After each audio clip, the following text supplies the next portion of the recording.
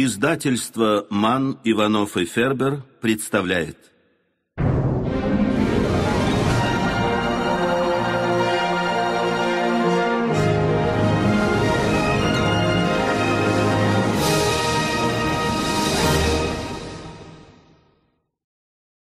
Гейлер Дарья. Вижу цель, иду к ней. Как зарабатывать на любимом хобби и жить полной жизнью. Читает автор. Введение. Для кого эта книга? В 2013 году я отказалась от наемной работы в известной всей стране студии дизайна и стала предпринимателем. К тому моменту я успела получить красный диплом экономиста в престижном вузе, поработать в международных продажах, побывать во многих странах. Жила в съемной квартире и плохо представляла себе будущее, мечтала о переменах, у меня не было конкретной цели. Просто хотелось почувствовать вкус жизни, сделать что-то полезное для общества, найти дело по душе. Тратить время на поиски идеальной идеи я не стала, взяла первую попавшуюся. Открыла онлайн-магазин мебели и позорно закрыла его через год. Сначала сдалась, затем собралась. Теперь вспоминаю эту часть биографии с улыбкой. Мне 32 года. Я создала бренд материалов для творчества. Сейчас у нас больше ста партнерских магазинов, своя студия прикладного мастерства и сотня тысяч подписчиков в социальных сетях, тысячи любимых клиентов. Эта книга для тех, кто ищет вдохновения. Она также для тех, кто его нашел и готов приложить усилия, чтобы не потерять.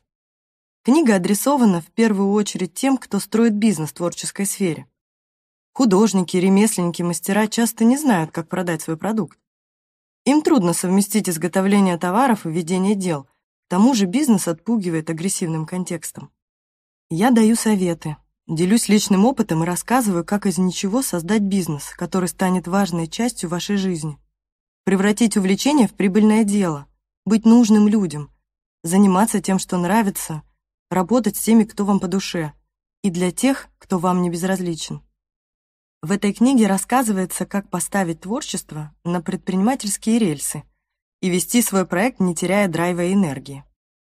Вы имеете право ничего не знать о бизнесе, не разбираться в бухгалтерии и налогах, быть полным профаном в продажах, делопроизводстве и кадровых вопросах. Вас может бросать, как когда-то меня, от одной идеи к другой. Поверьте, даже при таких водных можно получать удовольствие от бизнеса. Когда я начала писать эту книгу, то представляла читателя собеседником. Старалась писать так, как говорю, чтобы вы слышали мои слова. Иногда я настаиваю, порой что-то обстоятельно доказываю, а потом поддерживаю вас и вместе с вами ищу смысл и мотивацию в каждом пройденном шаге. Хочу, чтобы, читая, вы мысленно отвечали мне. Я тоже так думаю. Как будто для меня написано. Ой, все, пошла делать. Каждая страница — как честный разговор с другом, как увлекательное кино, как внезапное событие будет вызывать в вас эмоции, сильные, настоящие. Именно они послужат вам топливом для свершений. Эта книга не о бизнесе в сфере производства красок или ведения мастер-классов. Специфика вашего дела не имеет значения. Здесь вы не найдете конкретных инструкций, сколько вешать в граммах. Они моментально устаревают. Вместо этого вы узнаете универсальные формулы, работающие в любом деле. Вам понадобится все ваше мастерство и творческие способности, чтобы освоить искусство предпринимательства. Профессию, которой на самом деле не существует. Профессию, которой нельзя научиться в университетах по книгам или курсам.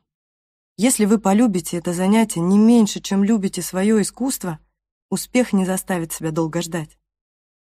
Перенимать чужой опыт надо, но помните, что есть только один способ освоить несуществующую профессию предприниматель. Это путь действия. Делать, делать и делать каждый день то, что эффективно для вашего бизнеса, что созвучно вашему внутреннему состоянию и личным принципам. Действовать по обстоятельствам, быть творческим, созидательным и любопытным. Не останавливайтесь на этой книге. Читайте, слушайте, общайтесь с теми, кто смог из ничего построить успешное дело. Не стесняйтесь копировать эффективную модель, но берите не форму, берите энергию. Не верьте мне на слово, проверяйте каждый тезис на практике. Только так и никак иначе. Моя история. Я люблю читать биографии выдающихся людей. Это шанс подглядеть, что и как они делали, какими качествами обладали. На величие я не претендую, но моя книга написана на основе моего опыта. Острые грабли ежедневной задачи — вот мои учителя. Знаю, что все любят истории, поэтому расскажу свою. В детстве я хотела быть хозяйкой завода или водить такси. И мне казалось, что владельцу завода не нужно ничего покупать на рынке, он все делает сам. А еще я любила ездить с папой на машине. Он таксовал по вечерам и иногда брал меня с собой. Мы называли клиентов полтинниками, потому что они платили 50 тенге. Я выросла в Казахстане. Деньги меня не интересовали. Мне нравился сам процесс поиска полтинников и доставки их до места назначения. Несерьезные детские мечты со временем развеялись, и по окончании школы профессию мне выбирал папа. Я стала экономистом. Если бы выбор делала мама, то я была бы инженером каких-нибудь очистных сооружений. Правда, один раз я все-таки сознательно задумалась о том, где хотела бы работать. Это случилось в 10 классе, когда, прочитав ководство, я написала Артемию Лебедеву, мол, благодарна за труд и пользу. Точно помню, что рассуждала примерно так. Кем надо быть, чтобы работать у Тёмы? Наверное, дизайнером, ну или уборщиком. Ой, нет, я совсем не умею рисовать и терпеть не могу уборку. Черт, не видать мне студии Лебедева. Бойтесь своих желаний. Тёма мне тогда ответил. Он всем отвечает. Мол, спасибо за добрые слова, всего хорошего. Скрывать не буду. Я взвизгнула от радости, получив письмо. История на этом не закончилась, а прервалась на 10 лет. Я поехала в США по программе Work and Travel, работать уборщицей.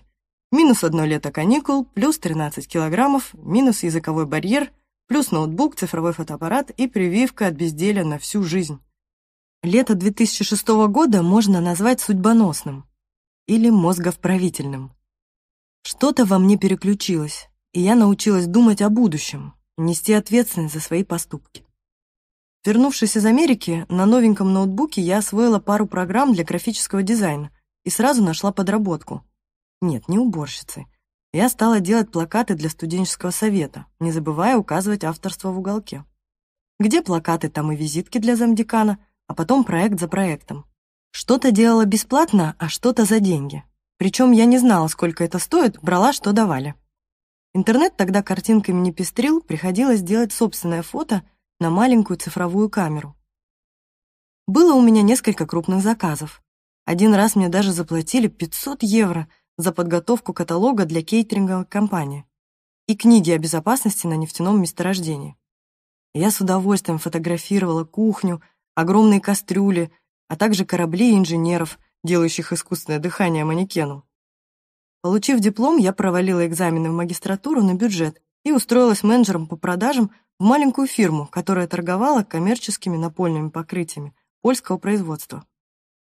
Тогда мне просто нужны были деньги, чтобы платить за жилье и транспорт. Первые полгода крохотный оклад продавца позволял гасить только жизненно важные платежи. Покупать одежду и обувь помогала мама. Однако я быстро поднаторела и стала закрывать сделки одну за другой. Зарплата взлетела. Сидеть в офисе не приходилось. Я бегала по встречам, путешествовала, успевая выполнять план продаж и искать новые проекты и клиентов. Компания была маленькая, я относилась к ней словно к своей. Поэтому мыслей вроде «мне столько не платят, чтобы так упахиваться» не было. Никогда не думала, что работаю на дядю. Мы трудились вместе с руководителем. Он хотел завоевать российский рынок, я тоже хотела. Работа в той фирме приносила мне деньги, каких я потом еще долго не видела, а также знания и опыт. А ведь это была просто маленькая конторка. На углу Кропоткинского переулка и Остоженки, на цокольном этаже с узкими окнами вдоль тротуара. Никто из прохожих и не догадывался, сколько денег там крутилось. Несмотря на солидный заработок, приятный коллектив и вдохновляющего начальника, меня непреодолимо тянуло то в одну сторону, то в другую. С юности главный критерий выбора занятия для меня — верить в то, что оно лучшее. А если вера пропадала, то и работу приходилось бросать. Я хотела перемен и ушла, когда мы работали уже в стильном офисе, занимая весь этаж современного бизнес-центра. Компания росла, а я достигла потолка и решила уволиться. Сестра мне прислала ссылку на вакансию на сайте студии Артемия Лебедева. Требуется отчаянный продавец с прекрасным английским. Я сразу подумала, это же обо мне. Написала им, прошла собеседование и оказалась там, где когда-то мечтала работать. Студия развивала экспорт продуктов промдизайна, и я принимала участие в этом процессе почти два года. Чем-то помогла, в чем-то была бесполезной. На мой взгляд, студия дала мне больше, чем я ей. Еще в 2013 году, работая у Артемия Лебедева, я задумала открыть маленький и красивый интернет-магазин товаров для дома. Внезапно появился крупный инвестор, и вместо маленького случился серьезный магазин мебели и декора. Мы арендовали офис, склад, наняли сотрудников. За год перегорела я и прогорел магазин. Инвестор во мне разочаровался, и я в себе тоже. Позже, анализируя события, я поняла, что пыталась воплотить книжные советы о том, как достичь финансового успеха, но допускала одну ошибку за другой. Как я тогда скучала по легким будням наемного сотрудника. Тогда можно было встать из-за стола в 6 часов вечера в пятницу и пойти в театр с подружками. Теперь же целый год приходилось работать без выходных. Даже делая передышку, я пребывала в полупарализованном состоянии от постоянного стресса. На меня свалилась ответственность в разы превышающая мои способности, возможности, силы и особенно желания. Словно меня готовили в космонавты, но так и не дали оторваться от Земли. Со всех сторон посыпались предложения работы. Излюбленная уловка судьбы. Стоит потерять веру в себя, как сразу появляется хороший повод все бросить. Я сдалась. Точнее, думала так, поэтому пошла в офис Бенетон на должность координатора оптовых клиентов СНГ. Но даже до первой зарплаты не дотерпела. Встала и ушла, оставив недописанное письмо на экране компьютера. Через пару дней позвонила знакомая, дизайнер ресторана, и позвала на встречу. С этого момента я связала свою жизнь с декором интерьеров, и началась совсем другая история. В комбинезоне, с ведром краски в руке, я пошла работать с мыслью о том, что назад дороги нет. Я бралась за любые проекты. Работала маляром, художником-оформителем, бутафором, декоратором. Мне было все равно, как называется работа, я всецело отдалась процессу. Есть задача — надо выполнить. Никто не рассказывал, как, просто показывали, что нужно сделать. Я брала предоплату, думала, как реализовать проект, покупала материалы, ехала на объект, красила, получала полный расчет. Муж уволился, и мы стали работать вдвоем. Брались за большие объекты, красили лестницы, потолки, стены, превращали гипсокартон в бетон, пластик в металл, новое в старое и старое в новое. Материалов для наших художественных задумок катастрофически не хватало. Мы искали рецепты, смешивали коктейли из компонентов и пигментов. Однажды меня пригласили провести мастер-класс, и мне эта роль понравилась. Муж взял на себя задачу администратора. Мастер-классы стали регулярными. Я учила красить, смешивать цвета, рассказывала о технологиях. Ряд совместных проектов с партнерами сильно увеличил количество заказов. Мы уже брали за работу приличные деньги, нанимали помощников. В октябре 2015 года родилась идея разливать по банкам и продавать смесь красок, которую я использовала чаще всего. Пусть заказчики красят сами, Браться за все заказы уже просто не было физических сил. За 15 дней я сделала сайт, оплатив на готовой платформе пустой шаблон. Тряхнула, так сказать, граф-дизайнерской стариной. Сайт был страшный, кривой, но на нем можно было смотреть фотографии, и кнопки «Купить» работали. Мы решили, что докрутим все в процессе, и докручиваем до сих пор. В ноябре я запустила магазин и уже на следующий день выслала первый заказ в Санкт-Петербург а второй во Владивосток. Первые покупатели заказали только краску, а в моей линейке продуктов были еще воски. Я положила их в посылку в качестве подарка, чтобы у меня появились отзывы. Заказы стали поступать регулярно. Мы продолжали смешивать краски на кухне, самостоятельно отправлять заказы и вести мастер-классы, используя исключительно продукты нашего производства. Квартира превратилась в завод. Все нужные вещи мы перенесли в спальню, там ели, Спали, жили. Зал стал складом, кухня производственным цехом, а коридор упаковочным центром. Развивая наряду с розницей отдел партнерских магазинов, проще говоря, оптовую торговлю, мы наращивали объемы, чтобы закупать более профессиональные компоненты, тару, упаковку, заказывать этикетки и все необходимое. Я придумывала рецепты, оттенки, дизайн упаковки, наполняла сайт, писала посты в соцсетях, вела переписку с клиентами. А муж занимался закупкой компонентов, упаковкой, доставкой и отправкой. Ровно через год, в ноябре, мы открыли первую творческую студию в центре Москвы для проведения мастер-классов и продажи красок, а также работали с 70 партнерами. К лету 2016 года передали отправки на аутсорсинг, перевезли производство из квартиры в цех на электрозавод. В 2017 году на электрозавод переехала и студия. Площадь помещения выросла в три раза. Появился офис для управляющим магазином и партнерским отделом. Мы перенесли на удаленный склад хранения товара, полностью передали посреднику обработку и отправку заказов. Затем закрыли цех и арендовали линию на профессиональном производстве. Сейчас, когда я пишу эту книгу, с нами сотрудничает 120 партнерских магазинов и творческих студий в семи странах. Мы регулярно проводим мастер-классы, курсы и лекции в нашей студии в Москве. У нас достойный интернет-магазин и большой разливочный цех, налажено хранение и отправка, а в перспективе планируем открывать свой розничный магазин.